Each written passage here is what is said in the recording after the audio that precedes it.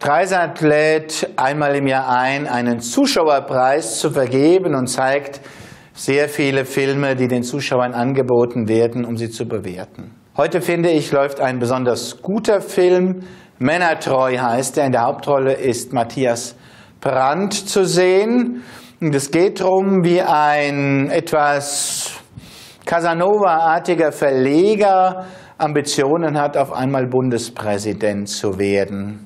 Und es tun sich natürlich Abgründe auf, auch moralische Abgründe in seinem Lebenswandel und, und, und.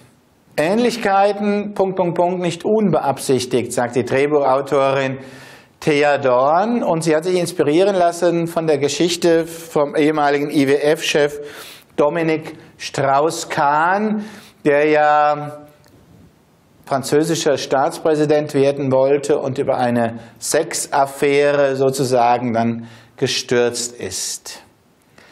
Ein sehr nachdenklicher Film, wie ich finde, brillante Mitstreiter hat Matthias Brandt. Susanne von Borjodi spielt die Ehefrau, Claudia Michelsen spielt eine Journalistin, die ihm auf den Fersen ist, aber vielleicht auch mehr von ihm will.